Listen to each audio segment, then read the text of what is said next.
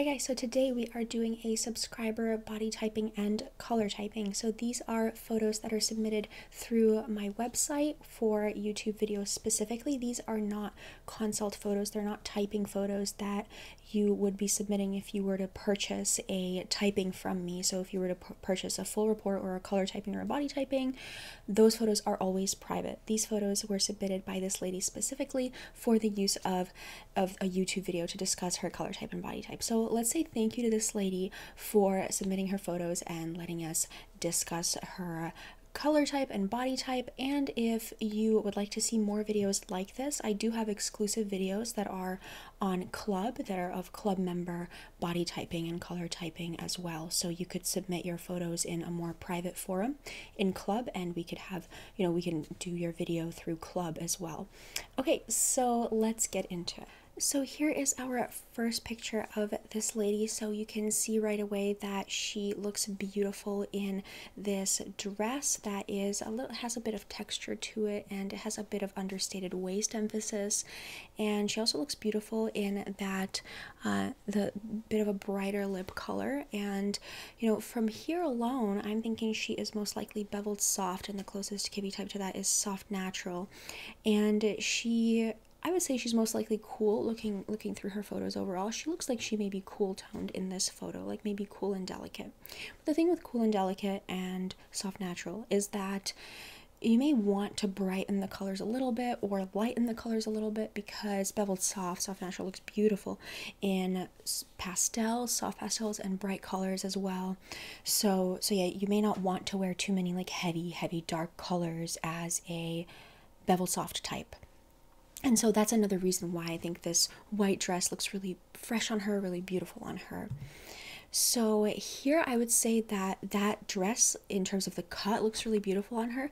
I do wonder though this dress makes me wonder if she is cool toned. So you can see that the dress looks a little bit too warm against her skin, although it does look good overall because it is in her lines. You know, it's kind of like flowy, it's textured, so the dress looks looks good on her overall. Uh, but against her skin, you can kind of see that her skin is cooler than the dress. And this is sort of what I talk about, you know, in terms of cool undertones tend to if they look cooler right like you are going to look less warm than the dress. But if you look more warm than what you're wearing then you tend to look more golden.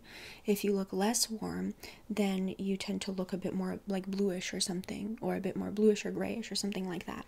So that's why warm undertones don't do that well with cool undertones don't do that well with warm colors but warm undertones can do pretty well with cool colors and that's why you know if you make a TV appearance, you're just asked to wear jewel tones. Why are we asked to wear jewel tones? Jewel tones to TV appearances and things like that. Because we're all actually catering to cool and radiant. That's why. Because cool and radiant is the one that needs the most catering because they're the coolest type. Everything aside from cool and radiant colors is going to make them look a gray or blue. So basically, everyone else caters to cool and radiant because cool and radiant doesn't have any other option. So we all uh, have to cater to cool and radiant, including me. I'm cool and delicate and Olive. Uh, I'm actually like this lady. So she is, she looks like she's olive, doesn't she? Yeah. Yeah, so she's cool and delicate and olive. Yeah, so I would say she basically she and I pretty much share share the coloring more or less. I think she may be a little bit warmer than me in some of these photos. She looks like she's warmer than me. In some of them, and some of them not. She looks pretty much cool and delicate.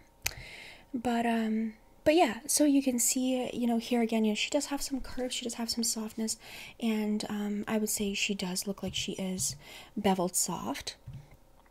Um, here also, you know, she does look like she's beveled soft, and um, and yeah, so you know, some of the longer lines work pretty well on her, and of course the um, the waist definition works well on her. Here, I really like this top um, on her because you know it is a bit looser, a bit more unconstructed, and I like this look overall. I think it looks very cute. I think it looks very effortless, and um, it looks pretty elegant on her too because she has. It looks like those are pearl earrings, and the um, the style of the top is a bit more of an elegant style, but at the same time, her look is actually in beveled lines, and so this is why it's so important to separate out the style from the lines. Of course, some lines do lend themselves better to some styles.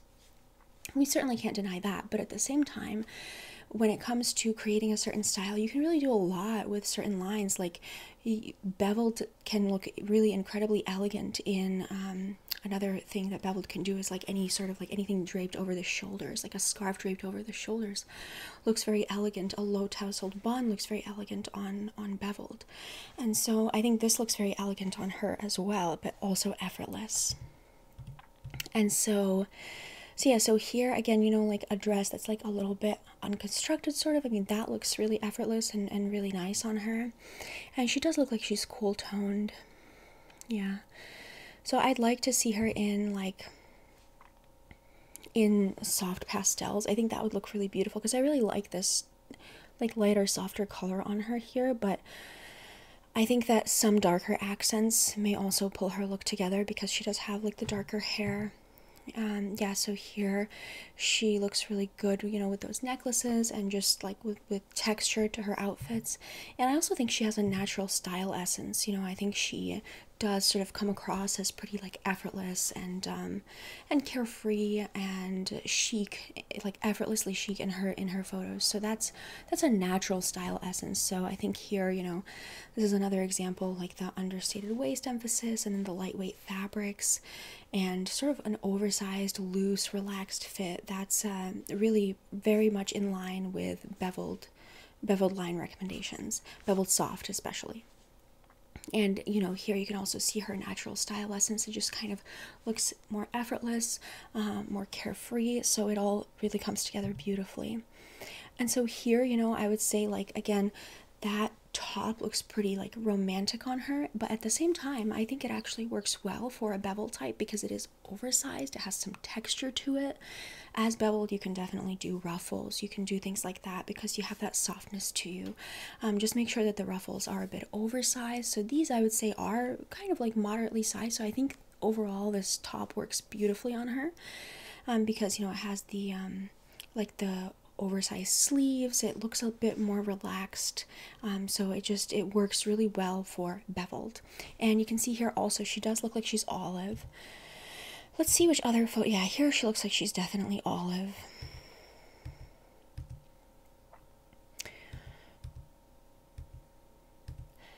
Yeah the reason why i'm going through this is because you know i'm on the because of this photo like here alone she does look like she's warm and delicate but the thing is, is that we have to take all of the photos as a whole. We cannot take just one photo and say, you know, well, you're warm and delicate. Um, but, you know, she does in most of her other photos. Like here, she looks cool and delicate. Actually, in every photo except for this one, she looks like she's cool and delicate. Like here as well, she looks like she's cool. Um, here, she looks like she's cool. So I'm comfortable putting her into cool and delicate, even though that one photo does have me a little skeptical. I mean, some of these photos have me a little bit skeptical because, you know, this is like, looks like more of an ivory dress, and I think that does look like a beautiful color on her. Um, so I can see her being like incredibly close to neutral. Um, oh, and if you're, if you're watching this, your gray is going to be a taupe it's not going to be any kind of gray. So, you know, any sort of taupe color is going to be your gray because you are so close to neutral. Any kind of gray that is not muted with brown, which is what taupe is. Taupe is like gray and brown, right? More or less, um, is going to look disconnected from you. And that happens to a fair number of cool and delicate people, is that actually gray doesn't always work unless it's like kind of like a, a dusty gray, unless it's a stormy gray, unless it's a charcoal gray, unless it's a taupe. It can't just be a clear silver gray. And the reason for that is because with cool and delicate, with skin tones in general, remember cool and delicate is a muted skin undertone. And so with skin, we are not muting with gray. We're muting with brown. We're muting with brown, with beige, with cream, with ivory, whatever it is, right? We're muting with that that color range. We're not muting with grays if you're painting or something, you might mix gray in and you know just a gray paint into your blue or something or into your into your red to mute it and it would mute it. But that's not what we're doing with skin, okay? With skin, the reason why we are going for taupe is because taupe is muted with brown. And pure gray, like black and white mixed together, is going to look disconnected from cool and delicate because pure gray has no browns in it, no tans in it, no beiges in it. Um, yeah, so so so yeah, so you're muting with, with browns and tans and beiges with skin. So that's why taupe, if you're very close to neutral, taupe is your friend. You can do maybe a warm taupe if you're warm and delicate, a cool taupe if you're cool and delicate, but taupe, not pure gray or otherwise charcoal gray, stormy gray, like I said, like some sort of gray that is not just pure black and pure white together. Okay, so if you're watching this, you know, um, you would be one of those people definitely that I would go for taupe. I would go for cool ivory. I would definitely not go for, um, you know, very, like, I wouldn't necessarily go for um, clear grays. And so, so let's recap here. So for her, like, I would say she she has a natural style essence. I think she does read as pretty effortless, um, you know, and you know, like here and here as well. You know, I think she does read as pretty effortless. I think I do see a bit of classic to her as well. You know, like here, she definitely looks more uh, more like elegant and timeless. Um, so I see some classic to her as well, and and here as well, she looks more elegant. And so so it depends on what you want to lean into, right? Um, in some of her images, she definitely looks like she is more like like in this one and in this one, like more of an effortless type of type of uh, style. But in some of them, she looks a bit more elegant. So it really depends on what you want to lean into. You could either do classic or you could do natural. Uh, if you want to do classic, you know, I think you're doing it really quite perfectly here.